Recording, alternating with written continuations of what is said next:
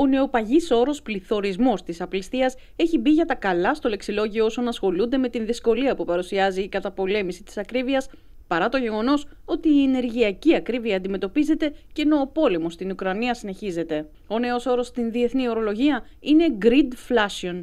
Με αυτόν περιγράφουν οι ειδικοί την ξεχωριστή κατάσταση που εμφανίστηκε μετά την πανδημία και τον πόλεμο και που δεν είναι κάτι άλλο από τη συνεχιζόμενη ακρίβεια παρά τους συνεχείς χειρισμούς των κυβερνήσεων για την καταπολέμηση του πληθωρισμού. Όσο βλέπουμε ότι αποκλιμακώνεται ο πληθωρισμός και έρονται σε επιμέρους εκφάνσεις του αιτίες που οδήγησαν στο παρελθόν στην αύξηση των τιμών, εκείνη που πρέπει οι ελεγκτικοί μηχανισμοί να τρέξουν με ακόμα μεγαλύτερες ταχύτητες. Και αυτή είναι και η επιθυμία και η πρόθεση και φαίνεται με την εντατικοποίηση των ελέγχων. Από τις αρχές του 2022, ο πληθωρισμός στην Ευρωζώνη οφείλεται κατά 45% στην άνοδο των κερδών, κατά 40% στις τιμές εισαγωγών και μόνο κατά 25% στην αύξηση των μισθών.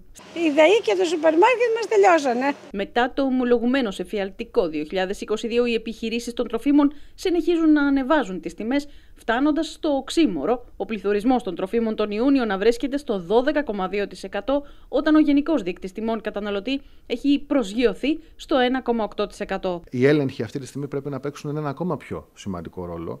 Αυξάνονται μήνα με το μήνα και όσο βαίνει ε, μειούμενος ο πληθωρισμός, έχουν και πάρα πολύ μεγάλη αξία στην πολιτική και στην προστασία των καταναλωτών.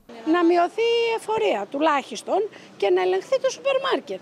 Σύμφωνα με τον ΟΟΣΑ, η Ελλάδα σήμερα παρουσιάζεται ως η 7η χώρα σε ό,τι αφορά την αύξηση του μεριδίου των κερδών από 34,4% στο 39,2% κατά το διάστημα 2019-2022.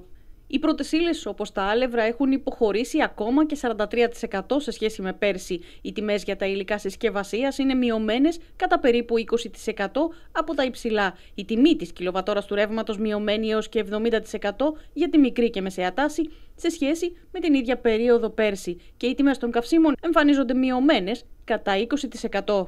Στον αντίποδα, τα γαλακτοκομικά συνεχίζουν να τρέχουν με ηλικιώδη ταχύτητα, με αύξηση τιμών που αγγίζουν το 15% σε σχέση με την περσινή περίοδο.